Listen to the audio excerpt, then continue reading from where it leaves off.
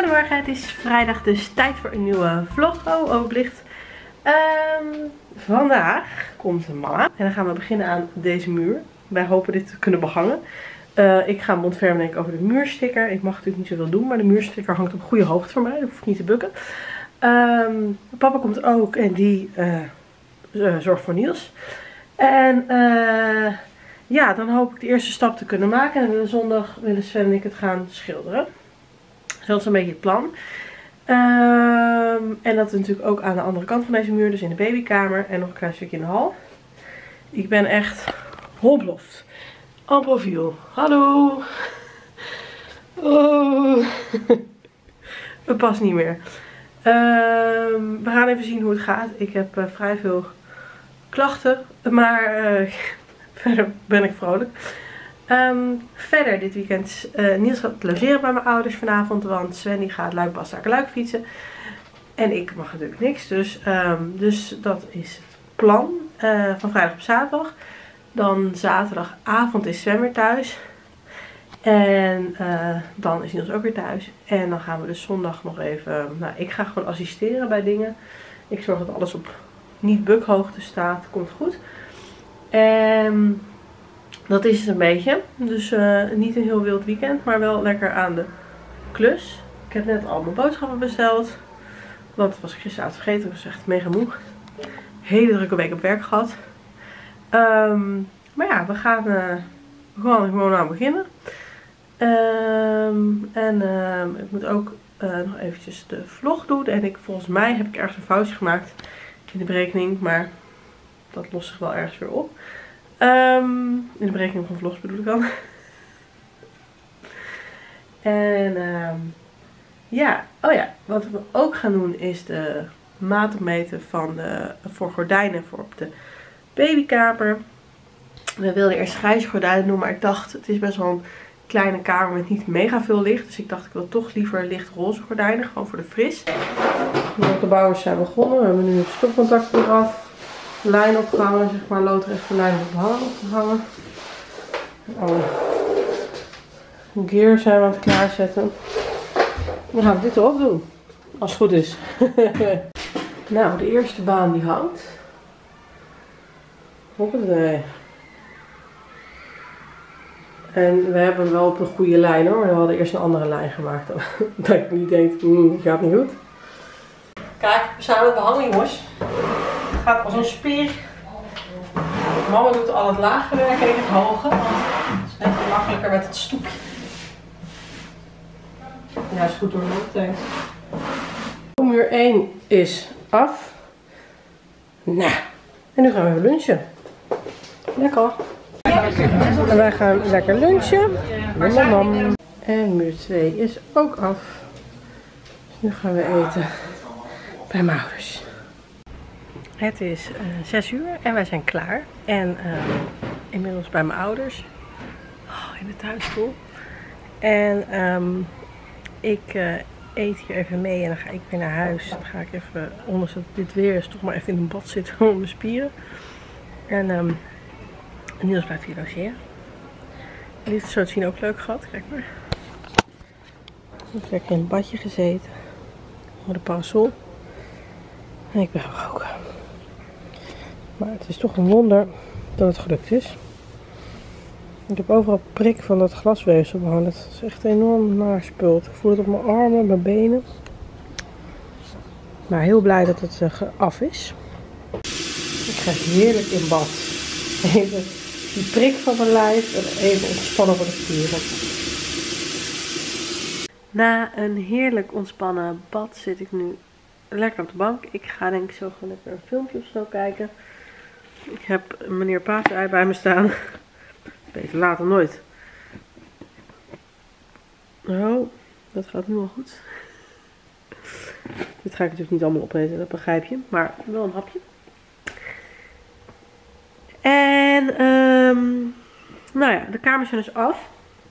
Tenminste, dat is niet waar. De bank zit erop. Dat is een leuk plukje.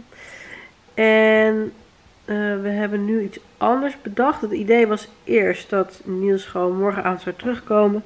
En dat mama nog even zou helpen met het gewoon het naar bed brengen. Uh, Want ik mag nog steeds tillen en zo. En ik heb vandaag best wel ehm, iets meer geholpen dan gepland eh, bij het behangen. Maar dat kwam omdat het trappetje net iets laag was voor mijn moeder. Dus ik kon wel bij het plafond, maar mijn moeder niet. Ehm, en het ging eigenlijk best wel. Ehm, dus ja, het zijn, ik kon nu gewoon gecontroleerde bewegingen maken. En dat scheelt natuurlijk met een kind kan dat natuurlijk niet. En was ook natuurlijk geen gewicht. Ehm, en ik heb nog steeds niet echt gebukt of zo. Ik heb vooral, nou ik heb wel gebukt, maar niet zoveel. Dus uh, op zich ging het wel. Nou ja, dus we hebben het er maar even van genomen. Maar het idee was dan dat mama nog even zou helpen met hem naar bed brengen op zaterdag. En Sven komt zaterdagavond laat thuis. Ik heb geen idee hoe laat, maar laat. Um, maar mijn vader had zoiets, ja, ik kan ook gewoon bij ons slapen zaterdag. En toen dacht ik ineens, hé, hey, wacht even. Als hij nou nog zaterdag... Waarom ben ik nou steeds niet scherp, jongens? Dat is beter. Um, toen dacht ik, als hij nou op zaterdag daar ook nog slaapt... dan kunnen zondag, zondagochtend kunnen Sven en ik dan even uh, het, de eerste laag verf doen. Uh, want er moeten twee lagen verf op. En dat scheelt natuurlijk weer ontzettend. En dan is Niels daar nog niet bij. Dus dat is waarschijnlijk nu het plan.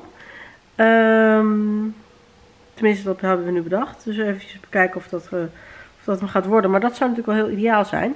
Um, anders dan schilderen we met Niels erbij. Maar ja, dat is toch een beetje een risico. En dan moet Sven het meeste schilderwerk doen. Maar het is echt wel gewoon makkelijker met z'n tweeën. Dat ik gewoon dingen aan kan geven en zo. Sven kan het zelfs zonder trappetje natuurlijk bij het plafond. Ik, ik, dat uh, lukt mij gewoon niet. Nou, misschien net niet zonder trappetje. Maar Sven komt een heel eind, denk ik. Um, maar echt super lief dat mama zo geholpen heeft. Ik ben echt heel blij. Goedemorgens. Het is zaterdag. Als je denkt, wat heeft een glimhoofd? Ik heb er even een maskertje op. En ik merk dat ik toch echt meestal deze pak. De, Vichy Mask Peel. Uh, vind ik een heel fijn masker. En um, ik ben natuurlijk meteen even naar mijn kunstwerk gaan kijken hoe mama en ik dat gisteren hebben gedaan. Hoe het er nu uitziet. Dit is dus nog steeds, het komt allemaal nog goed hè, die kasten daar, dat begrijpen jullie. Goed, het ziet er nu zo uit. Ik heb ook even raam opgezet. Nou, dat is toch een strak wandje, jongens.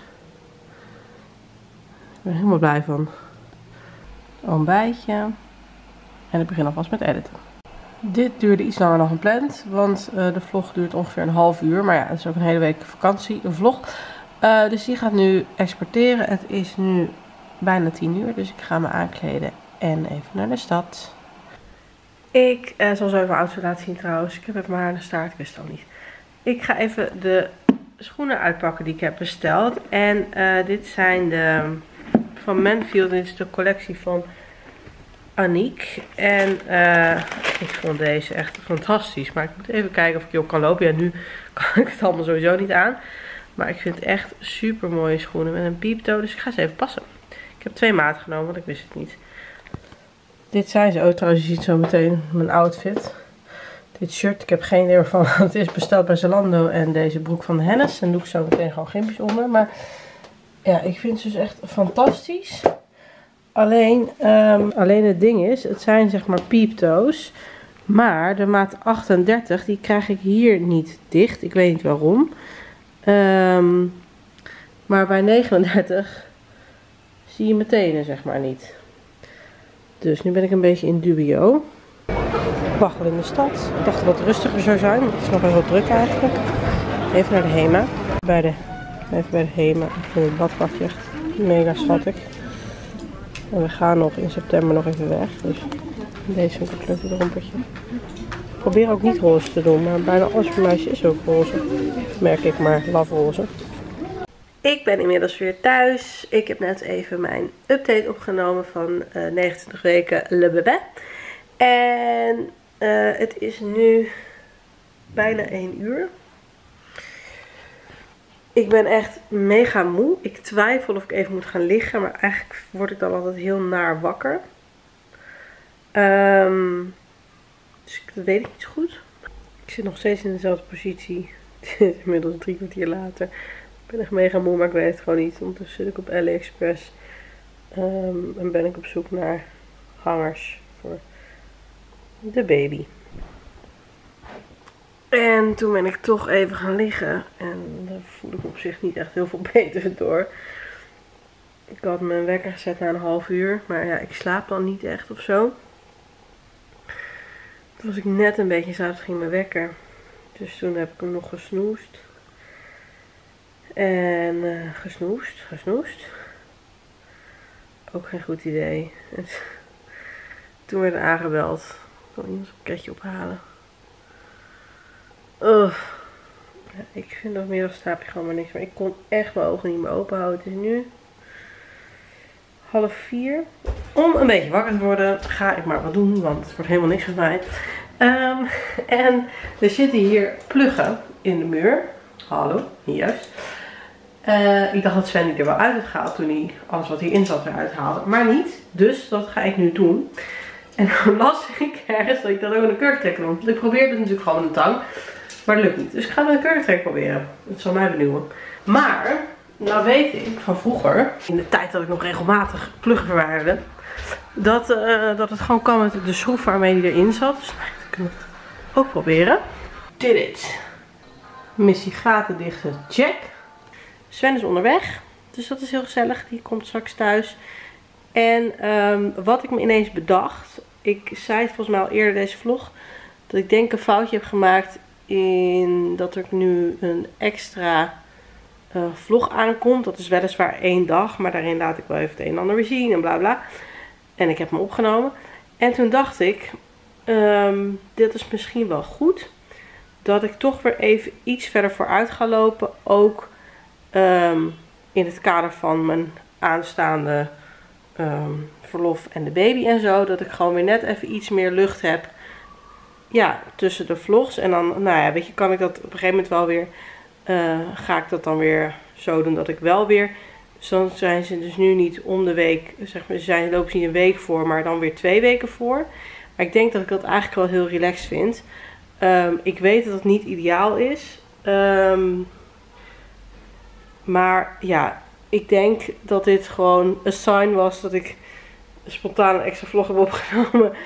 Um, ik denk dat het een sign was dat ik hier gewoon eventjes, gewoon eventjes moet gaan naar elke, zeg maar dat ik dus twee weken achterloop. Want dat geeft mij gewoon een hoop lucht. Dus dan weten jullie dat. is de vlog vanaf, vanaf deze vlog, klopt het dan?